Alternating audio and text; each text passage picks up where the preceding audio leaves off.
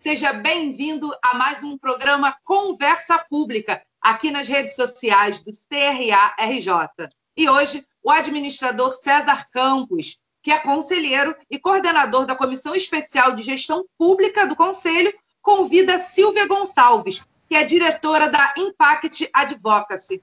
Tudo bem, Silvia? Tudo bom, César? Sejam bem-vindos. Tudo bem, tudo ótimo. É um prazer aqui receber a Silvia aqui no nosso programa Conversa Pública. Tudo bem, pessoal? Obrigada pelo convite, adorei. É um prazer estar aqui. Coisa boa. Bom, Silvia, vamos começar tirando aquela dúvida que eu acredito que muita gente ainda tem. O que é a advocacy? Explica para gente, conceitua e conta um pouquinho da sua história. Então, a advocacy nada mais é que uma estratégia de mudança, né? Ela pode ser usada para mudar comportamentos, políticas, sistema é, de, de uma sociedade ou de uma organização, né? Então, é, quando a gente explica advocacy, a gente conceitua é, as ONGs em basicamente não só ONG pode fazer advocacy, mas em geral são ONGs que fazem hoje no Brasil. A gente conceitua em dois tipos de ação: as ações sociais diretas, né, que são aquelas que atendem um público diretamente, né? Muitas delas são ações emergenciais, né? E tem escolinhas de futebol, esse tipo de coisa, são ações sociais diretas. E ações que vão nas causas raízes, que esse é o advocacy, que tem um foco nas mudanças estruturais, né? E muitas vezes se usam ferramentas inovadoras para alcançar essas mudanças estruturais. Então, quando você pensa em fazer advocacy, você vai direto na causa raiz do problema. Então, o que muito acontece quando as pessoas tentam resolver um problema, uma organização tenta resolver um problema, é ficar focando é, no resultado daquele problema, né? E aí você é, desenvolve basicamente soluções paliativas que não resolvem um problema, só arrastam ele com o tempo. Então, o advocacy vem para olhar a raiz do problema e é, oferecer uma solução que seja efetiva e de longo prazo, né? Então, é, não sei se deu para entender, mas eu posso, é, eu posso apresentar algumas, é, tentar tangibilizar com algumas ações de advocados que já aconteceram é, no, no Brasil e no mundo. É, o fim da escravidão foi uma ação de advocados. Ah, esse é um bom tema. Atuação, né? É, quando, quando você pega algumas mudanças que foram basilares no mundo, você vê atuações de advocacy ali, você vê grupos diferentes se unindo para fazer uma mudança estrutural na sociedade, né? Então, o fim da escravidão é um, o fim da segregação racial na, na, na, na África do Sul é outro, né?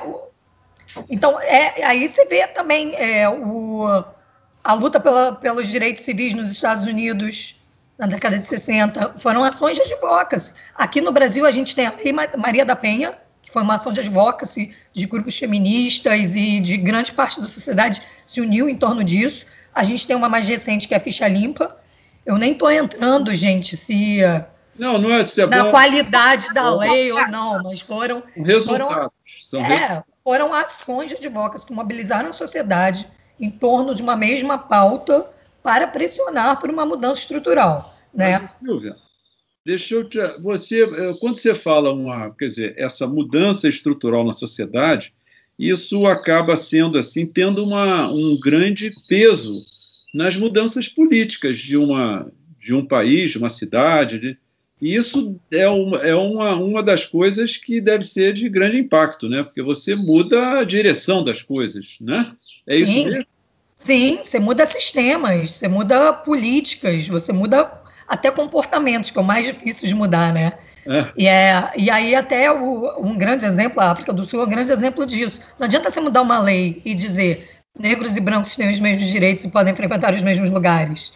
Se a sociedade não mudar essa concepção na cabeça, que é a mudança de comportamento, a coisa não muda.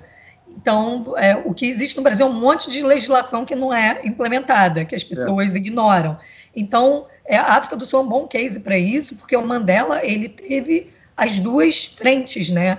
Tanto a frente de mudança da, da política estrutural ali, o que, que a política vai dizer agora, que todo mundo é igual, todo mundo frequenta os mesmos lugares, não tem mais escola segregada, fim da segregação no legal e ele trabalhou com a sociedade, com mudanças de mentalidade da sociedade. Né? Ele fez, é, ele, ele usou aqueles tribunais, né, que ele chamou, é, para as pessoas se conciliarem. Ele usou o rugby como uma ferramenta também de união da nação.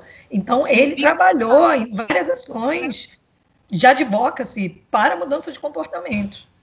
Ô, Silvia, ah, nessa, mas para você chegar, ah, para você chegar a implementar uma ação de advocacy, você precisa de uma articulação muito grande na, na sociedade, não é isso? Então, a, o advocacy ele tem várias estratégias, né? E você pode fazer essas estratégias em conjunto ou fazer uma só. E a grande confusão do lobbying veio daí. Ah. O lobbying não é advocacy, o lobbying é uma das possíveis estratégias de advocacy. Advocacy, em geral, é um, uma série de estratégias combinadas. Né? E aí, quando você falou, ah, precisa de muita gente, às vezes sim, às vezes não. Quando a sua estratégia é coalizão, você hum. precisa de muita gente unida na mesma pauta, né? É, campanha é uma coisa que funciona muito em advocacy, a comunicação, o lobbying, a pesquisa, é você ter dados para provar que aquilo que tá, você está dizendo é, realmente funciona. Então, a produção de conhecimento é muito importante no advocacy também.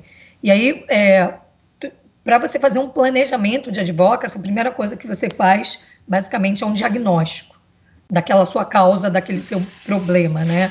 Para você chegar exatamente na causa raiz e não ficar procurando soluções paliativas, né? Você ir realmente lá.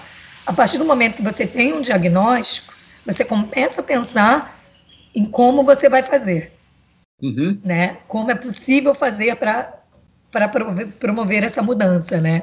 É, no, a gente fala que o advocacy tem, tem, tem que ser tem uma meta de impacto lá longe, que é uma meta que você quer advocacy a longo prazo, tá, gente? Você pode fazer ah. ações de advocacy, mas a mudança estrutural que você quer, sua meta de impacto é a longo prazo, né? Então, é, você analisa aquele problema, estipula uma meta, estipula metas intermediárias que elas mostram se você está andando em direção àquela meta. Perfeito. E aí você estipula estratégias específicas para caminhar dentro dessas metas intermediárias. Né? E aí você pode pôr até no cronograma e tal.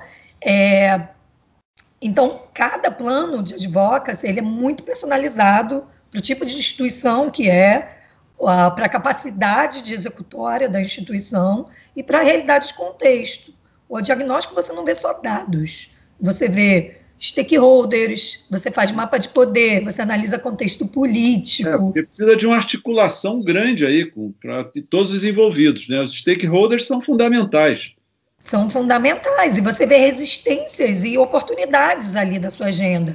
E você vai montar suas estratégias de acordo exatamente com essa sua análise robusta, Agora, que é basicamente análise diagnóstico, né? A análise do problema. Usa uma palavra, você usa uma palavra que é o grande, o grande drama de qualquer mudança, que são as resistências.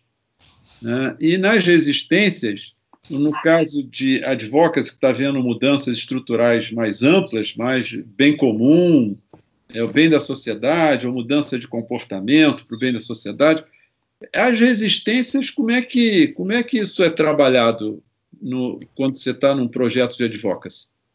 É, é, quando você faz o mapeamento, você mapeia as resistências, né? Você mapeia, você faz o, o que a gente chama de mapa de poder, né? Ah. Então, você põe os stakeholders no lugar deles, mais poder, menos poder, contra ou a favor da sua causa, como se fosse um quadrilátero. E, e aí, é, se você vê que tem gente com mais poder do, contra você do que as pessoas que estão te apoiando, uhum. então você tem que pensar a sua estratégia para não ir de frente com essas pessoas. Perfeito. Então, talvez sua estratégia não seja lobby com tomador de decisão direto. Talvez sua estratégia seja uma campanha de conscientização e comunicação. Né? As estratégias você tira de todo, de todo essa análise é, e precisa ser minuciosa mesmo, é uma coisa que dá trabalho fazer, é, de toda essa sua análise das suas possibilidades de ação, basicamente.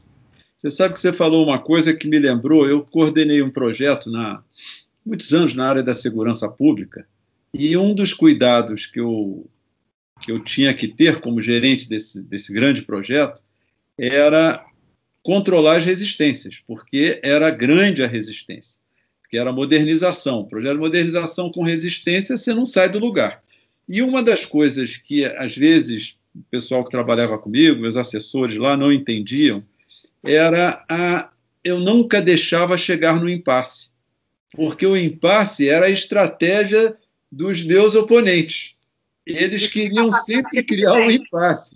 E eu sempre desviava do impasse e tal. E agora você está falando aqui na, né, do mapa de poder, né? eu não tinha isso naquela época, né? era mais intuição do que outra coisa, para não deixar parar o projeto. Então eu podia perder alguma coisa, mas eu desviava e conseguia outra, talvez de menor impacto, mas não deixava de avançar. É mais ou menos assim que vocês também. É isso, né? A política é a arte da negociação, né? Quando você não está disposto a negociar, não existe tudo ou nada, né? E não existe preto ou branco, né? As áreas são gray zones, né? Então, é, para você conseguir chegar no seu objetivo, você tem que negociar. E talvez você não chegue perfeitamente no 100% da sua meta, mas você vai caminhar para isso. Né? E uma meta de advocacy é sempre uma meta de impacto positivo na sociedade. De repente você não consegue 100% desse impacto, mas você conseguiu 80% desse impacto, você já está fazendo muito. Está fazendo muito, já que são mudanças estruturais né, que está se vendo. O, aquela experiência que nós tivemos com relação ao cinto de segurança poderia ser visto como uma, uma ação de advocacy? Com certeza foi uma ação de, de advocacy, mais pautada na comunicação. Sim. É, ele Muitas vezes o que a gente fala é que a legislação vem depois da mudança da sociedade, né?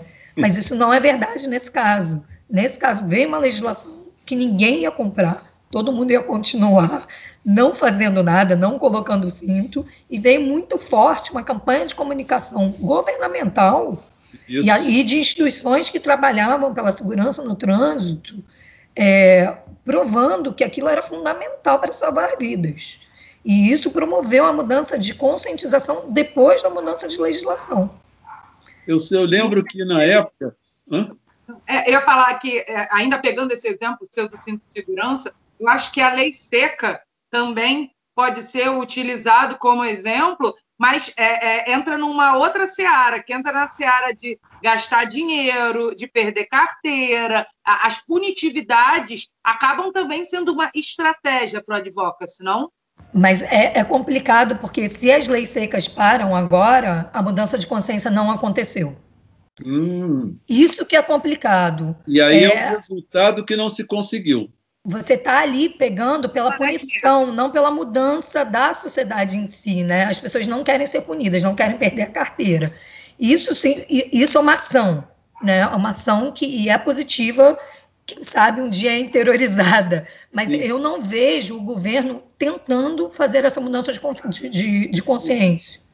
Né? E isso é fundamental para o avanço social, né? Isso é fundamental para a cultura ela, ela progredir, né? Então, não, não vejo isso acontecendo, vejo as pessoas tentando burlar, na verdade. Não, e agora é muito interessante que você está esclarecendo aí sobre a, a, o, o, objetivo do advocacy, né?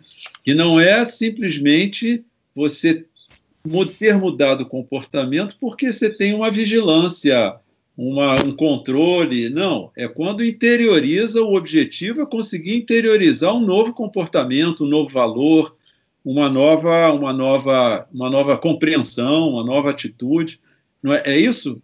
Sim, às vezes começa assim, às vezes começa com a punição. É uma ação para chegar naquilo, mas não necessariamente essa ação sozinha vai chegar naquilo, né? E ah. eu vejo eu vejo essa diferença do cinto de segurança para a lei seca. Perfeito. Não, essa, olha, estou aprendendo é, aqui. Acabou sendo um exemplo bacana, né? Pra... Então, deixa eu botar um outro exemplo. A, a questão do fumo. É outra ação de advocacy que foi muito bem sucedida. É, porque essa, é, o resultado foi assim, é, me surpreendente, porque eu sou da geração, eu sou da geração de que todo mundo fumava e fumar era bonito.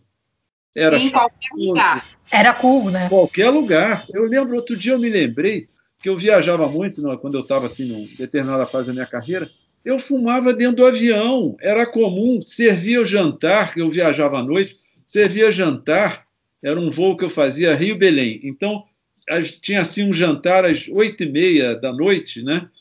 E depois do jantar, as pessoas puxavam seus cigarros dentro do avião e todo mundo fumava. Não, ninguém reclamava, ninguém achava estranho. O fumo, como é que você analisaria a questão do fumo? Ah, eu, tenho, eu cresci com isso, tá, César? Quem, não cresci no avião, mas eu cresci basicamente com um pai fumante, dois maços por dia, com Santana Quanto em três filhos que, e, Rio de Janeiro, né? Ar-condicionado no carro. Sim. Eu cresci numa, numa fumaça, né? e quase no rosto, né? E a, a, questão do cigarro é complicada porque existe dois lobbies, né? É. E existem é, estudos que dizem que não é bem assim. É. Existem estudos que dizem que é assim. e aí você não sabe direito. Mas o governo entendeu que os estudos que diziam que aquilo era cancerígeno e que aquilo estava atolando o sistema de saúde público é, foi o que prevaleceu de divisão do governo. Então, o governo ativou. O governo, o governo, nesse caso, é mais é um stakeholder que tem uma, um peso grande na, na decisão. Fundamental, porque ele conseguiu aumentar a taxação. Ah, sim, é, tem razão. E também, e, obviamente, gente, a sociedade civil que trabalhava pró isso estava pressionando o governo para o governo adotar essa pauta. Né? O governo não, não, não acordou um dia e falou: olha, que cigarro não é bom. né? Existia uma pressão dos dois lados, tanto da indústria do cigarro para que aquilo fosse mantido como estava, quanto das organizações da sociedade civil que queriam parar com aquilo. E viam aquilo acontecendo no mundo. O Brasil estava atrás do resto do mundo. Ah, isso é verdade, é isso mesmo. Estava atrasado, ninguém. Não, não, não era levado a sério o assunto cigarro como era levado nos outros países. Eu lembro uma vez eu fui para. Estava na Alemanha e teve uma reunião. Toda reunião que tinha, você recebia um cartão, aqui dizia o horário da reunião, a sala que você tinha que ter, e a reunião era fumante ou não fumante. Era decidido pelos integrantes. Olha, se a maioria fosse fumante, a reunião era de fumante. Se a maioria não fosse de fumante, era não fumante. Loucura, né? Você recebia num cartãozinho assim a, a, reunião que você tinha que ir. Não tinha esse negócio de computador, assim, como é, como é hoje, né? Essas, esses sistemas Sim. que você faz comunicação interna, não. Era você recebia um bilhetinho lá. Sua reunião está agendada para as 15 horas, é reunião de fumante. Aí, se você isso, não faz, paciência. Isso é a ditadura democrática, né? É, é, isso na Alemanha. No Brasil não, nem existia nada. Era isso década de 80. O falou de uma coisa interessante, é, é, que é a questão da, da modernidade e da velocidade das comunicações. Né? Como isso acaba interferindo é, no advocacy? Porque você falou que remete lá de trás. Né?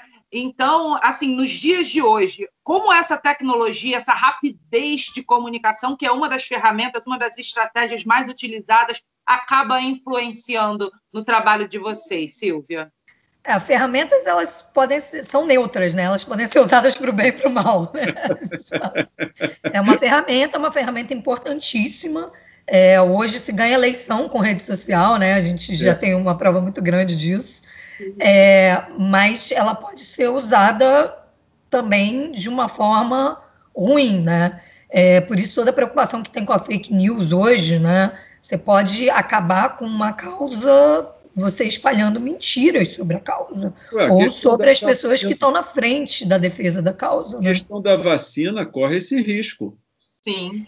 E a vacina, a vacina já, já, mesmo antes das redes sociais, já tinham grupos contra naturalistas, natura, não sei como eles se autodenominam. Não sei, mas que fazia mal. A vacina é, que eles acham que a gente, em 2020, tem que ser darwinista, né? Uhum. É, então... É, natural. É, e, e, ainda tem um discurso de que é, você vacinar seu filho até tantos anos deixa ele autista, né? Ah, tinha aí, é, chegou aí tem, Não, tem grupos organizados que falam isso. Organizados. É. E a, essa, é, essa, isso que a, que a Érica falou, essa questão da tecnologia, quer dizer, e como você bem colocou, é uma, é uma ferramenta, agora é uma ferramenta que é, tem, quando aquela, aquele momento que a gente fala na política, né, quando o, o assunto cola, vai numa velocidade, é uma tsunami. É, é isso mesmo que vocês também percebem? É isso mesmo. A gente fala que comunicação é fundamental em qualquer plano de advocacy. Você não faz plano de advocacy sem comunicação. E o que a gente vê a sociedade civil hoje é batendo cabeça nisso. Sim. Entendeu? Achando que o lobby vai mudar o mundo. É. lobby é muito eficaz para certas ações. Mas se você não comunicar o que você está fazendo. E outra coisa que é muito importante também, César, que eu acho que a sociedade civil peca um pouco nisso hoje em dia não saber quem está do seu lado. Uma, e fazer as mesmas ações duas vezes, levar as mesmas, as mesmas propostas para o governo de forma desarticulada. Isso não pode fazer. Uma das coisas que a gente faz no Advocacy também é o mapeamento da causa. Quem está atuando na causa, de que forma? É unir forças. A sociedade civil precisa se organizar para unir forças e não ficar batendo cabeça uma com a outra. Né? Então, é, quando você comunica dizendo a minha organização, mas a outra organização, mas essa outra, e essa outra, e essa outra, estamos defendendo essa pauta e a gente está unido pela mesma pauta, isso ganha uma força até de, de adesão da sociedade em geral, da sociedade não organizada. Uma entendeu? coisa que talvez esteja acontecendo, você falou agora uma coisa que me chamou a atenção. A gente está um pouco tendo um pouco isso com o movimento de educação, não está, não? Na verdade, historicamente, o movimento de educação é assim. Ah, é? Historicamente? Porque eu sinto que tem várias organizações atuando na melhoria da educação, cada um tem a sua, tem a sua quer dizer, seus, seus motivos lá, suas estratégias, explicações, mas eles formam um certo conjunto, não formam? Que isso na sociedade tem um está tendo um certo apelo para melhorar a educação. Então, é, existe muito isso, tem muita organização de educação, e aí umas com mais foco, outras com foco mais geral, umas primeira infância, outras, sei lá, ensino médio, e outras com foco mais geral, e elas têm pautas próprias. É, existem, existem algumas que fazem, é, que atuam em conjunto, em coalizões, mas não são muitas. Não, né? são, não são muitas. É, a visão da educação também é diferente para elas. Ah, é, isso é complicado, né? Porque é, quando você vê um movimento muito conjunto para a garantia de direitos, você via para a Constituição de 1988, isso. era garantir os direitos. Isso. A partir do momento que os direitos estão formalmente garantidos, vamos dizer, né? qualitativamente a gente sabe que não é, existe uma série de é, ideias de como é garantir a qualidade, de que tipo de educação deve ter, de formas de, de, de, metodologia e de não sei o quê. Isso é, é um grande impasse. É. Mas mesmo as outras, mesmo umas que acreditam, enfim, que tem que ter um, um, plano, um plano nacional de educação, que tem, que as metas têm que ser essas, aquelas. Teve um movimento conjunto para o Plano Nacional de Educação, tá? É Mas volta e meia elas entram em coalizão. E por um motivo ou outro, por uma meta ou outra. Isso, isso atrapalha o movimento dos Vox? Atrapalha. Entendi. Atrapalha, mas é difícil achar uma pauta comum. A, é. a, a, loucura, a loucura do advocacy é quando você tem uma, uma pauta muito ampla como educação, você conseguir fazer coalizões com pautas comuns. Perfeito. Eu entendi uma das coisas, falando de educação, né, você falou que, é bom, é, é porque educação realmente é um conceito muito amplo.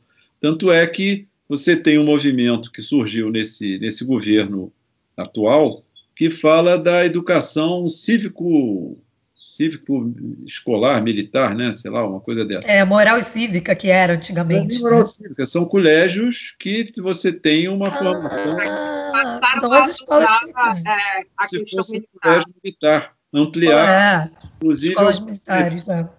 algum, inclusive o governo federal libera recursos em alguns nos estados que fizerem convênio para ter escolas desse tipo, né, com a, uma base cívico-militar né, de, de instrução, que não tem nada a ver com o chamado Movimento Nacional de Educação, Não. Que é totalmente diferente, porque o conceito de educação realmente é muito amplo. Foi bem, muito bem lembrado.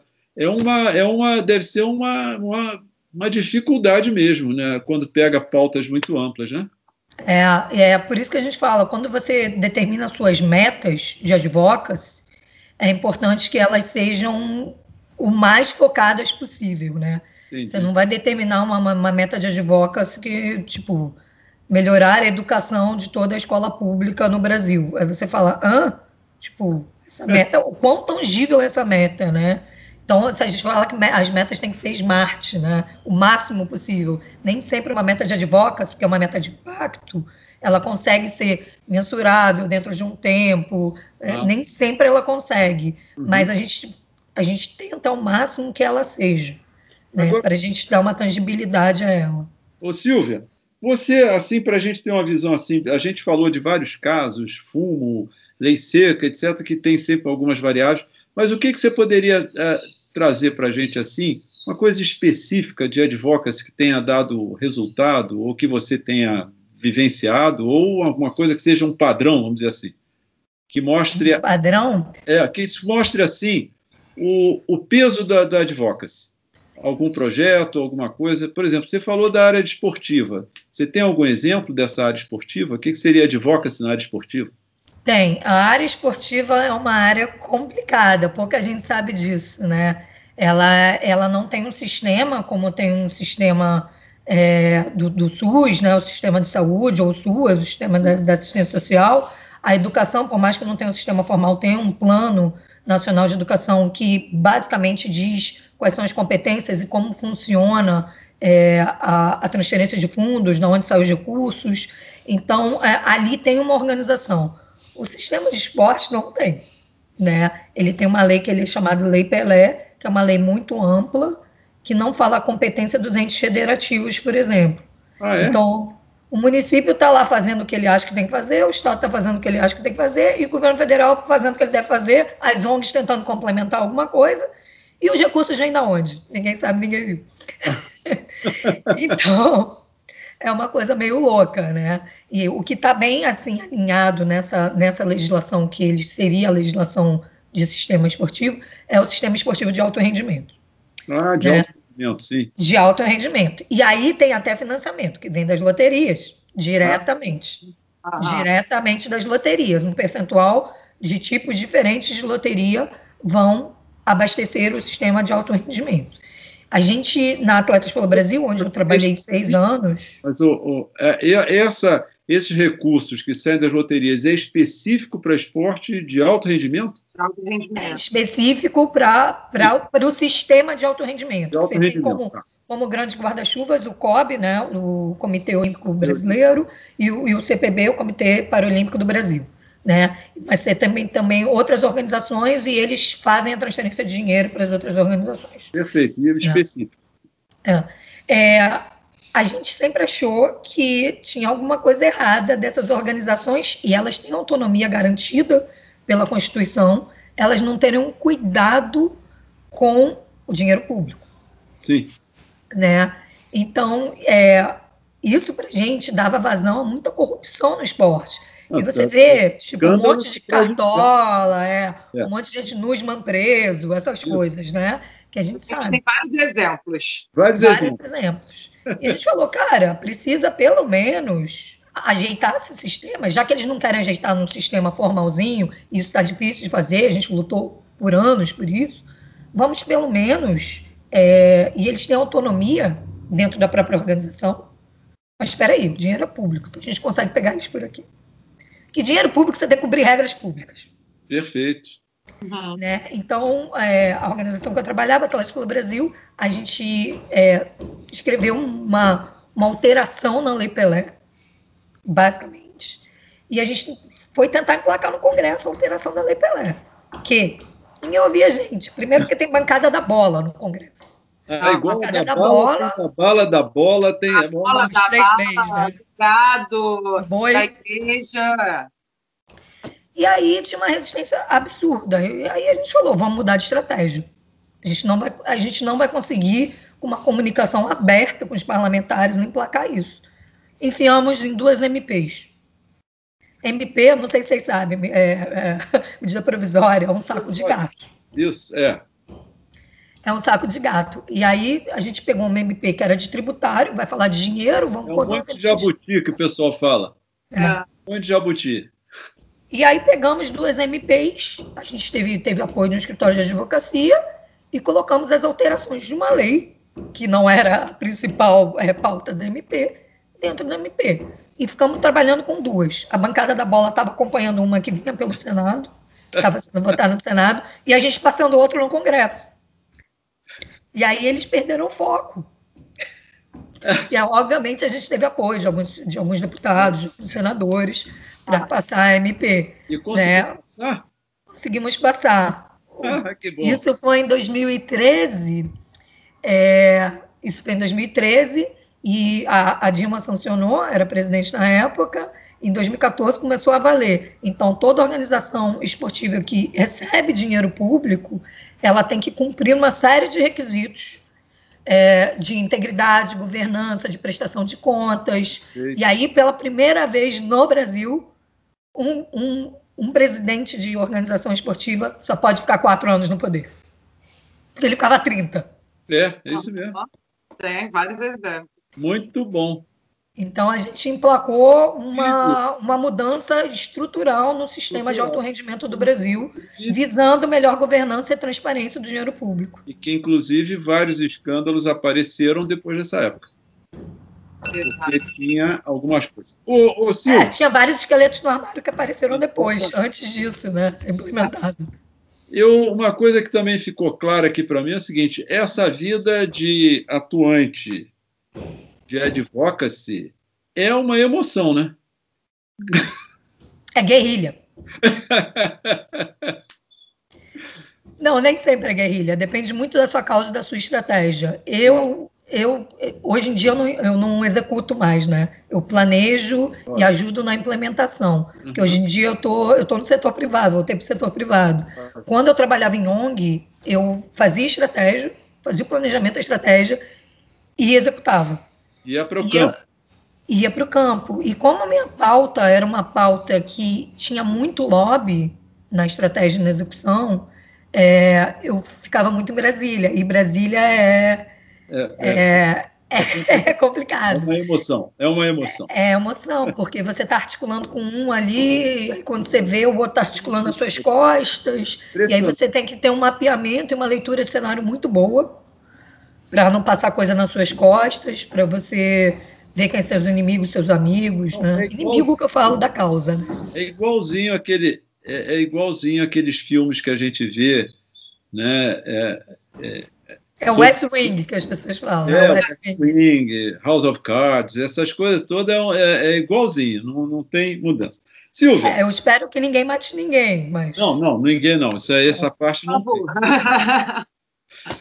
Olha só, Silva, você sabe que é, aqui a gente fala que esse programa tem um, um grande charme, que é o seguinte: a gente tem que, para ter um bom programa, a gente tem que rir e aprender.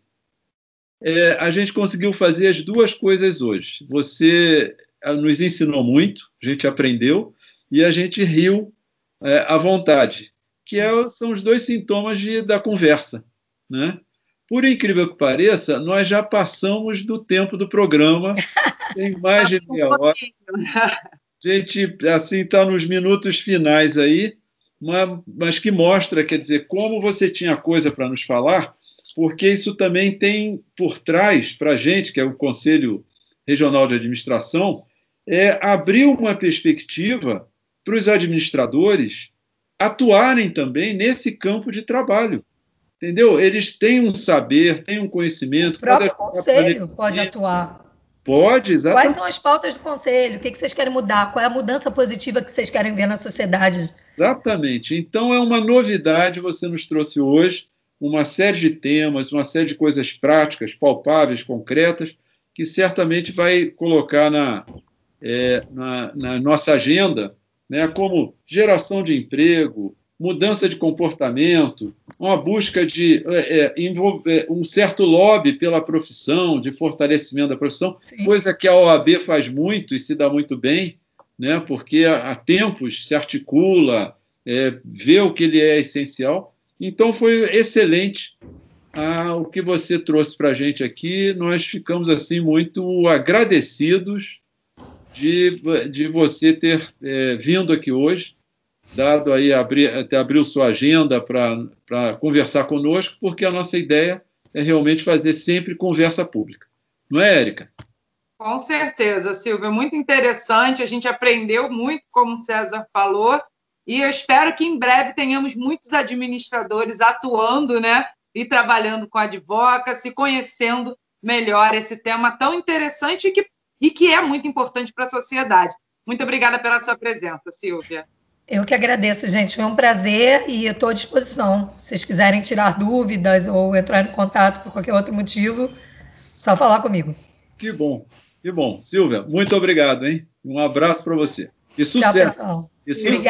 Obrigada.